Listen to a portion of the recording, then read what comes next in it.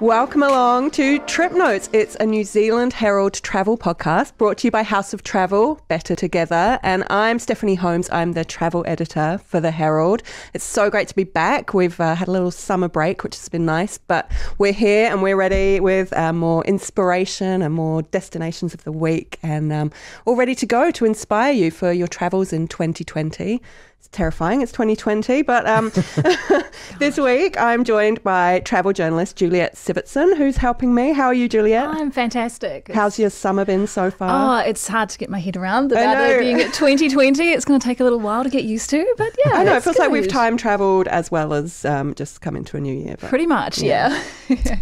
um, and this week, we're also joined by a wonderful special guest. So uh, she's an APRA Silver Scroll winner multiple New Zealand Music Awards, and new album, Chickaboom, is out now. Tami Neilson, thank Hello. you so much for joining us. How are you? having me. I'm great. Thank you. It's so good to have you here. Um, so, throughout the episode, we're going to be talking about homesickness a bit later, mm. how to deal with it. You've probably got some experience of that. You've oh, yes. traveled so much in your life. Um, and our destination of the week is somewhere close to your heart. Oh. Um, and it's a place Fun fact the highest concentration of music industry employees of any city in the world. Mm, sounds relaxing, eh? Yeah. so but we'll get to that later. But first, we want to find out about you and your travels and, and all the places you've been. So, um, and you're just back from uh, Canada. Yes. Yeah. Yeah. That was the, the final tour of, of 2019. And now I've been doing festivals just around New Zealand for the summer. I like to take the summers off to be home with my kids. Yeah.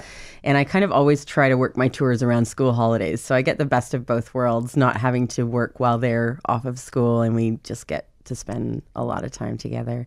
Of course, by the end of school holidays, it's it's I'm looking forward to the next tour, as most parents would yeah. be. yeah. They must love coming with you on those times. Oh though. yeah, they do, and it's really special. It's a different it's a different dynamic. It's a lot of work to bring. I mean, as you can imagine, bringing your kids to work um, in any profession is is challenging, but I love, you know, being able to look out into the audience and see my kids there or see them side stage or um, just having them, you know, when you finish a show and you go back to the hotel room, you're not by yourself, you know, which it, it, traveling and, and touring uh, is, is can be a very isolating lifestyle um, mm. when you're doing it as a musician professionally. Yeah. yeah.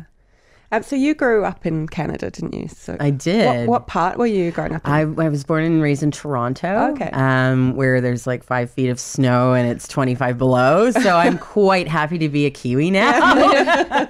no shoveling snow in the mornings no, of winter. That was the rudest thing, you know, because I, I landed, I literally landed in, I was doing a tour of Quebec and landed in Montreal and they had a huge early dump. It was early November and um, you don't normally get snow kind of till, oh, you know, maybe late November is early or December. Um, but you, we turned on the news and it was literally the earliest snow removal in history. Oh, wow. wow. I landed and went, please turn the plane around. Can I go back home now? back to a New Zealand summer. Oh, you just forget, you know, yeah. after I've been here for 15 years and you forget about the fact that if you want to go anywhere, you need to kind of clock in, you know, half an hour before to clear off your car, shovel it out, you know, get this the the ice scraper out off for all of your windshield and yeah it's just a it, it's it, everything's a bit harder. Yeah. See, as a yeah. new zealander though i find that sounds so magical. I know. My new zealand musicians what we don't know, fighting right? over who got to shovel. That would be such a thrill. I'd love to shovel snow. Probably Seriously. probably only for like a Maybe week. like yeah, yeah. So five minutes. It gets oh, yeah it gets old pretty quickly. Uh, yeah. yeah. the novelty wears off. But yeah at first yeah my musicians from new zealand were fighting over who got to shovel the driveway before we had to leave any to go anywhere. Yeah. yeah. and so when when you were growing up in Canada, obviously Canada is so massive, it's so mm. vast. Did you did you travel around Canada much as a kid? Like did you get to see much of it or were you kind of Toronto based most of the time? No, I only lived in Toronto until I guess I was about eight or nine years old. And I grew up in a musical family. So it was my mom and my dad and my brothers and I. And we toured all over North America, so Canada and the United States for the better part of a decade mm. in a 40 foot motorhome. So oh, wow. what a way to grow up and, and see, see the world. So, um, that I've I guess I've been traveling traveling is my default mode you know? It's it's strange for me to be in one place for a long time. Yeah Yeah. What was it like in a motorhome with your entire family? the yeah, which Cozy. which side do you want to hear? Yeah, yeah, True. exactly. Give us the truth. Is my mom gonna listen to this? um, yeah, it was it was an amazing way to grow up. You know, we are all very close and uh, literally in proximity. It was like be friends or kill each other. Um, and there were definitely moments of where you wanted to do both. Mm-hmm. But I can remember, you know, Dad would pull up to you know a mall and be like, "Okay, we'll see you in two hours. like, let's all go separate directions and meet back here at this time." You know, and did he just go and sit in the pub for a while? probably yet cry in his beer but um, yeah so it it was uh, it was a unique way to grow up you don't really realize that i guess until you're an adult the way that you grow up is normal to Yeah. you and it's not till you kind of look around and look back and go oh that wasn't normal at all you know getting to do the shows that we did and, and grow up the way that we did. And and it really built a, a solid foundation i guess for me not only musically um, having kind of just that life experience but also um, knowing that it, it wasn't so much uh, home is is where the people you love are. So it wasn't as much a place as it was um, the people that you love being with you. And so I guess that's what you know. People always say, "Oh, you were so brave, like moving to the other side of the world to New Zealand." And but I grew up. You know, I think the harder thing was leaving my family. Yeah. But now having you know uh, started my own family in New Zealand, I've been here 15 years. Um, that you know wherever they are is home, mm. and so I, I think that growing up that way kind of gave me that freedom of not really being restricted to one geographical place. Yeah. I guess. You must have seen some amazing places while you were touring, or was it always just working? Like, did you get time to explore when you were in the various places you were visiting? Yeah, it's still like that. When you tour, you mostly see the inside of hotel rooms and airports and venues where you play. So, uh, you know, if you're lucky enough to get a day off, um, most of it's spent resting. Um, but you try to, between sound checks or loading in, you're trying to kind of sneak out and, and see. Um, you know the what what's around you, and a lot of it is seen from you know a window of a van or a you know, but you kind of uh, grab the moments that you can. When I was younger, we used to be able to because we had our motorhome with us. You kind of avoided all of that. You had your home with you, and so um, we could park somewhere and then explore. So, and and we also had more time off in in between.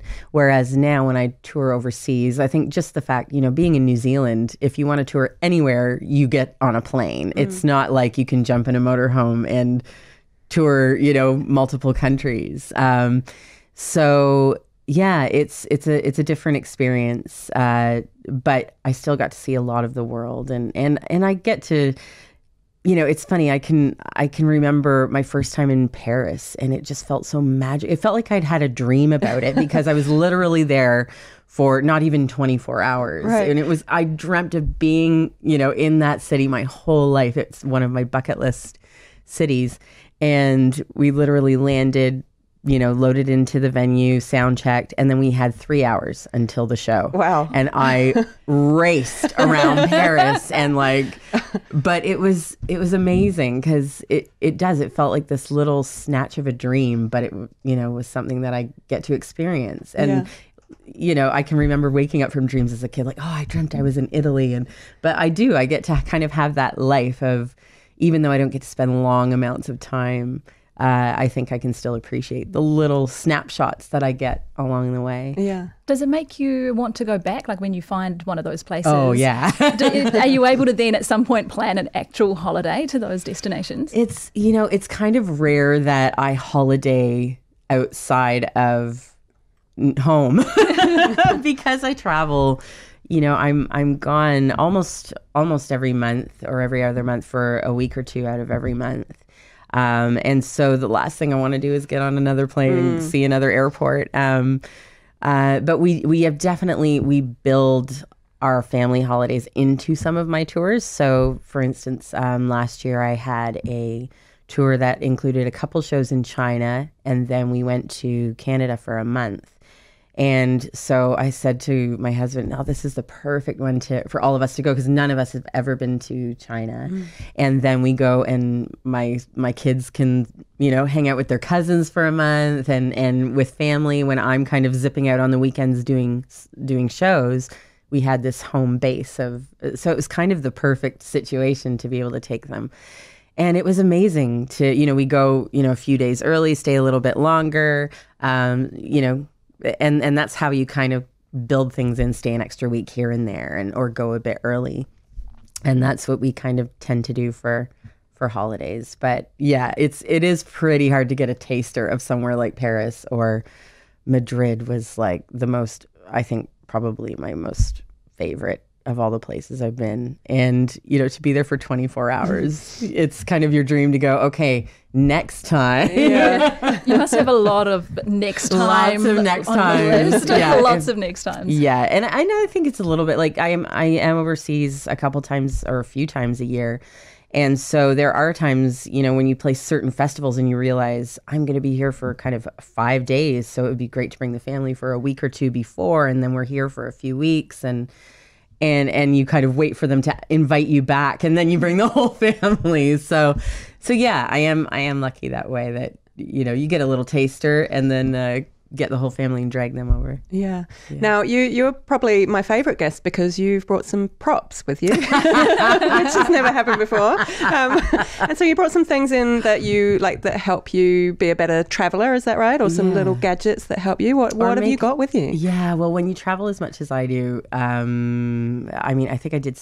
65 shows in 10 countries last year. Wow. And that was scaling it back. I really scaled back last year and changed the way that I've been touring and traveling.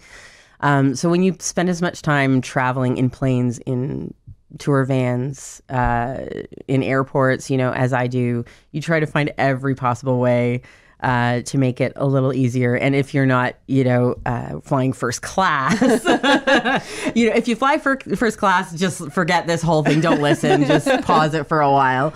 Uh, lucky you. But if you're a musician um, at, at the level I'm at, then finding all these little hacks uh, to make traveling easier. So um, I have this is probably like my absolute like cannot travel without it. Okay. It's a it's called a turtle pillow, but it's T R T L pillow. And what it is, it's got like this little um, almost like malleable brace inside this polar fleece scarf. And you wrap it around your neck. It's a lovely color. It's kind of like a, a salmon kind of pink. Yeah. yeah. and so you wrap it around. You've got like your cozy little scarf, and it holds your head up so That's you don't amazing. have to like have your like head, head bobbing. Yeah. Yeah. So you can either put on the side or on the front, and um, it just holds your neck up, and it's so good. And then I always put it over my face yeah. so that keeps all the germs yeah. out on the plane. And not quite as cumbersome. Like I love traveling with a, yeah. a, neck pillow, but they're quite annoying when you're having to. Then when you don't need them, around. where do you put it? Yeah. So this is great. It just okay. kind of yeah fits anywhere and then noise canceling headphones yeah, are definitely a must like mm. absolutely mm. need these so it's great for because you're on i mean i'm on 36 hour oh. travel you know when yeah. i'm going like 18 hours to qatar and then another seven hours to get to europe um, and you're you know watching movies uh, out your ears um, these actually, you know, because the little earbuds can start to really hurt. So mm, these are like these nice cushiony ones. And yeah, bring your own headphones. And then you just flick that little switch there.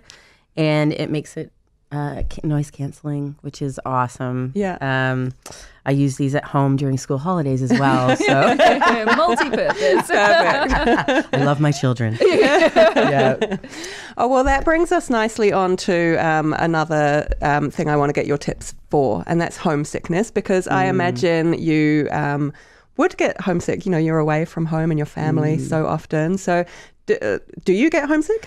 Absolutely. Just, yeah. That is probably the the biggest challenge I face touring is missing my family, missing my children. You know, and I was lucky as I said, I was lucky enough to grow up with my whole family on the road. So I didn't have kind of that constant pull whereas mm. now it's a very very different thing. It it totally changed the way I toured. Um, up until last year I was kind of following the usual template of you go overseas, you hit as many, you do as many shows as you can in one hit. So you're away for like five weeks, five, six weeks.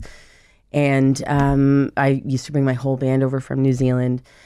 And it was just, I was finding it just too hard. It was too hard to, it, it wasn't sustainable for me emotionally, financially, mm. all those things. And so I thought, I looked at the template and went, hold on, like this touring template was kind of created for young single males, and I'm none of those things. Um, so, how would this look like if I changed the way that I travel uh, to suit me as a mom of two that lives at the bottom of the world, mm. you know? And um, and so I started using musicians locally on the ground uh, where I would tour to save on bringing an entire band over and maintaining a whole band um, overseas. And also, um, I started saying, you know, I instead of doing five weeks of shows where there's a couple hundred people a night in clubs, I will fly in, do one festival to 10,000 people and fly home, yeah. you know, and I'm gone for a week. And by the time you kind of get there and back. And so I've started doing that this past year, and so far so good. I mean, every stage in your life is it's going to change, yeah. and right now that really works well for our family, rather than the big chunks of time mm-hmm. away.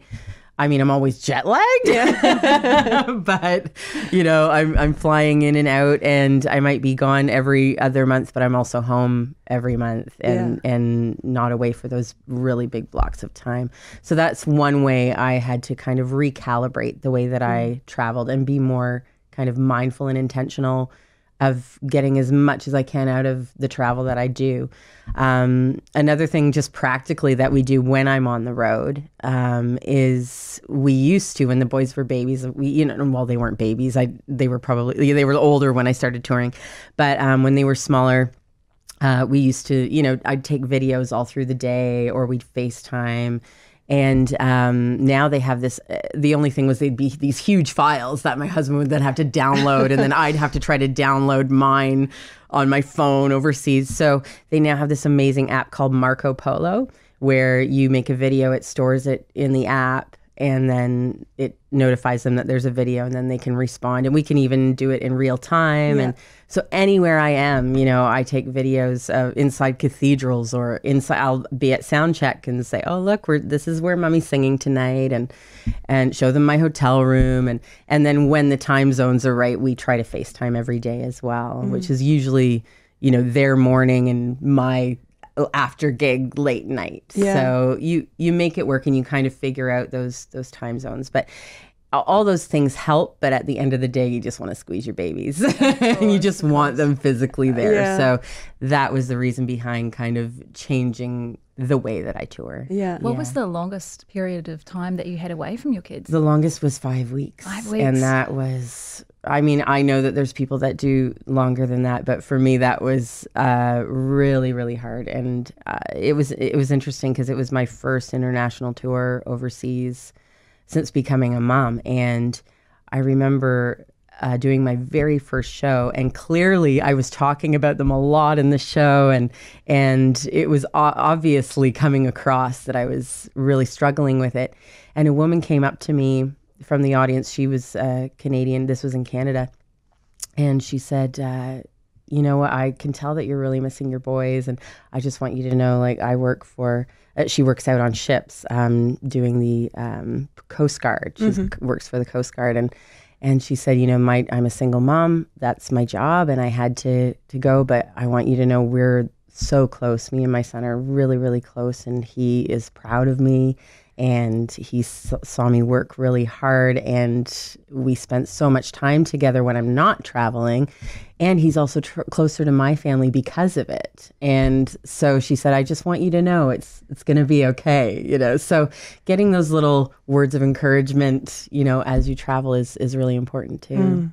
yeah. yeah do you ever get i call this reverse homesickness where you go somewhere and for whatever reason, you might have a really strong sense of connection to the people there or the place itself. And then you come home and you're happy to be home, but then there's this part of logging for this place that was you feel connected to in another way. Where have you had that? Norway. Oh, okay. But uh, that's because I have family in Norway. That's my ancestry. And so even though I've got family over there and I've only met them maybe two, three times in my life, I remember the last trip I went there and I spent, you know, a week hanging out with family there. And then I came home and I was obviously happy to be back in New Zealand, but my heart was panging Yeah. for my Norwegian family and just Norway in general. Like I have such a strong connection, to Yeah. the land there. Yeah. So I call it reverse homesickness. yeah i guess i mean i guess i always have had that where i'm always missing someone because i'm from hmm. canada originally and now new zealand is my home and and so there's always that but i think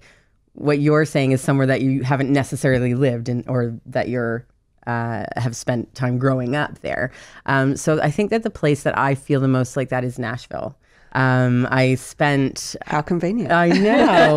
well, I spent one year living there uh, in our childhood. We we played there uh, for on a year contract, and um, and whenever I go back there, I just it feels like home, you know, and uh, definitely feels just like putting on an old pair of shoes that are so comfortable. You know, it's it's. Um, I definitely feel homesickness for Nashville. yeah. Well, well, that that is very convenient because Nashville is our destination of the week. I just made all that up just to segue into this. Yes, thank you. You can come back anytime. so it's nicknamed Music City, USA. There's more than 150 live music venues, um, and it just I've never been there. Have you been there? No, I haven't been there either. We're dying to go, and you've obviously spent a lot of time there. So, um, what does it have for a Kiwi traveller? Like, why would New Zealanders go there and enjoy it? if you love music, even if it's not uh, particularly country music, um, it's it's the mecca. It is kind of the destination, and it's funny because you know there are other musical meccas like New York or L.A., but there's there's nowhere like Nashville because it still feels like a small town, accessible vibe. You know, it's there. Everything is so intimate. You go to the venues like the Bluebird Cafe where you're sitting in a, a room and the musicians, the songwriters, it's celebrating the songwriters more so than an artist. Um, and you have four of them sitting in a round in the middle of the room, like I could touch them, you know, and they are facing each other, and the rest of the room is all watching them. Um, and it feels like a family gathering. And that's pretty much, you know, Nashville in a nutshell is that you, f- it feels like family and, and it, it does feel like a really, uh, you know, intimate family gathering. Yeah. So it's not exclusive. You know, some places you go to and they're amazing, but you still feel like an outsider. Would you say Nashville feels like Oh, absolutely. you're just part of it and they welcome foreigners? Yeah, well, I think that there, I mean, you've got that Southern hospitality, um, and people are very, very friendly and open. And, and for, I mean, it's a different thing for a musician to go in and you're trying to make it. And of course, you feel like, you know, you're trying to crack into this industry. But as a traveler, as a tourist, as a Kiwi going to Nashville, it's pretty much everything you've ever wanted to experience. You know, if you've ever seen it in TV shows or, or movies, um, you're kind of getting that quintessential music experience. And it's celebrating songwriters, it's celebrating an incredible history um, of country music. And we're talking, you know, right from the pretty much the dawn of the music industry. Um, it just has, it's just so rich with history. And um, every every corner has has that history. It's it's just um, it's it's a pretty magical place. Yeah. What are some of the must see? So you mentioned the Bluebird Cafe. Where else should we make sure we go? Oh, well, definitely the Ryman Auditorium. The Ryman Auditorium, they call it the Mother Church because it was originally a church, um, but was quickly taken over by concerts and everyone from Louis Armstrong to um, God, most recent, everybody plays that room. Uh, the history on that stage, you know, and, and of course, goes without saying, the history of country music the Grand Ole Opry, which is the world's longest running uh, live radio show, um, was performed on that stage for decades. Um, it then got so big they had to move it. They built a huge Opry house, which is a little bit more on the outskirt of town. which holds I think four thousand people, and it's all air conditioned, which the Ryman wasn't, Yeah. you know. And you know the history is so rich there. They they cut out the circle in the middle of the stage where all the artists would stand at the microphone to sing, and that circle is now at the Opry House. Um, so people still do shows at the Ryman. Um, Have you ever performed there? Oh, that's on my bucket list. Okay. I've yet to perform there. I've been to many shows there. Um, but that's on my bucket list is to play the Ryman and to play the Grand Ole Opry, um, which I think is every country music artist's dream from the time they're knee high. Um, but it's just such a rich fabric and you know and you just want to be a tiny thread in that fabric. I recently binge watched the ken burns documentary country music which just came out a few months ago. And just the incredible 16 hours of the history of, of country music and you could barely scrape you know the surface. Yeah. but um, just to be a tiny thread in that fabric is is amazing and and and it's not just the music the history that you know just the fact that you're on the longest running radio show of all time in the states you know that in itself is amazing you know aside from it being country music um, so you, you have to go to the Ryman. It's beautiful. It's been restored. It's all the beautiful pews, the stained glass windows, and they do a really great tour um, of the backstage, and they do a, a tour of the whole venue. Um, right across the road is the Country Music Hall of Fame and Museum, which is this multi-billion dollar building, which is so incredible. Um, Is that the one that looks a bit like a, like piano, a piano from the yeah. outside? Yeah. So every element of the building is musical, um, and and ties in with with music, and uh, it's it's incredible. Um, ev like I said, even if you're not a country fan, if you're a music fan, if Yeah. you're a history fan, you will love it. You know, you'll see Dolly Parton's outfits, you'll see Hank Williams outfits, you'll see uh, Willie Nelson's, you know, everything, Johnny Cash, everything is in there. Um, you can spend days in there, honestly. Um, but and they're always playing live music. There's um, discussions with artists. Uh, I remember the first time that we walked up there, they had on the front lawn, uh, this huge, huge front lawn. They had a free concert with uh, Nashville legends, the Time Jumpers, who are fronted by Vince Gill, who's a legendary country artist. And it's just a free concert. You're wandering through the city, and there's this massive free concert with the best musicians in Nashville, all just playing casually, you know? And Yeah. that's uh, so many magical things happen in Nashville. And the artists and the people are so accessible. I remember when we were touring through there as kids, we were teenagers and we went into the boot shop, the boot corral, you know, to get some new cowboy boots and uh, walked in and looking at some boots. And this guy stood next to my brother and he was looking for some boots and it was Garth Brooks. and Jay just looked at him, my brother Jay, and went, you're, you're Garth Brooks. Like, and he was a massive fan at the time. And, and he's just, oh, yes, lovely to meet you. Oh, where's your family? And, you know, chatted with us, took a photo with us that's Nashville in a nutshell. You know, there's no kind of egos. It's it's very people are very accessible, and that's not to mention the food. I was going to ask Oh you about my that god! Bring your stretchy pants. Okay, great. Bring Yeah, the stretchy tip. pants. Um, man, it's uh, like pretty much you can go anywhere, and there's incredible food. There's incredible music. Um, if you kind of want that experience of really amazing southern home cooking. Like there's the barbecue peg leg porker, which is right downtown on Cannery, the Cannery, which is an old uh, factory that they've converted into music venues. Um, very very cool spot, and right across from it is the peg leg porker, and it's pulled pork barbecue. And Great name. Oh my God, it's amazing. And sweet tea, but get it unsweetened and then add your own sugar. Um, and then if you go a little bit, like half hour uh, kind of south of Nashville, is this iconic place called the Loveless Cafe. It's been there since the 50s. They make the best biscuits and preserves and fried green tomatoes and fried chicken, like everything fried and bad for Yeah, you, but it's yeah. so good. and um, yeah, stretchy pants are the key to any trip to Nashville. And then if you kind of want, uh, I mean, if you're wanting that real honky tonk Nashville downtown experience, you go to Tootsie's or Roberts, which Tootsie's is the bar that is at the, at the back door of the Ryman Auditorium. Patsy Cline, Hank Williams, Willie Nelson, everybody used to go there and drink Yeah. there between sets on the Grand Ole Opry. It's got this amazing, rich history. It's a giant lilac purple building. You can't miss it. Um, so you go there. It's now just rowdy honky tonks full of tourists. But if that's what you want to do, uh, then that's the place to go there or Roberts. Um, I mean, the whole strip on Broadway is just honky tonk after honky tonk, and you're getting cowboy boots and steel guitars and fiddles out your ears. And uh, but if you're wanting kind of a more local experience, where old school um, uh, people go to play, like when artists go to play on their nights off and no one knows they're there, kind of legendary artists will kind of pop on stage. It's this tiny little place in the middle of nowhere on Long Hollow Pike, I believe it, it is in um, Goodlettsville.